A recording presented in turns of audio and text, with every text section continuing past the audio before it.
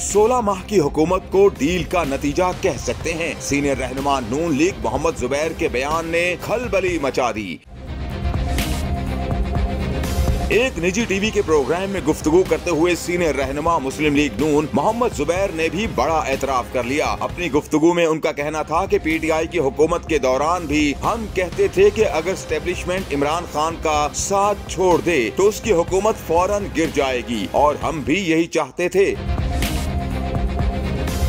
Senior रहनुमा नून लीग मोहम्मद जुबैर ने मजीद कहा कि हम स्टेब्लिशमेंट से कोई पंगा नहीं करना चाहते, न पहले कभी पंगा करना चाहते थे। लेकिन हमें ऐसा दिखाया जाता है और कहा जाता है कि नवाज़ शरीफ की किसी चीफ से बात नहीं बनी तो उसका हम ये जवाब देते हैं कि किस वज़ीर आज़म की किस चीफ से कभी बनी। लिहाजा सिर्फ़ नवाज़ शरीफ पर इल्ज़ाम नहीं लगा सकते कि उसकी चीफ से नहीं बनी।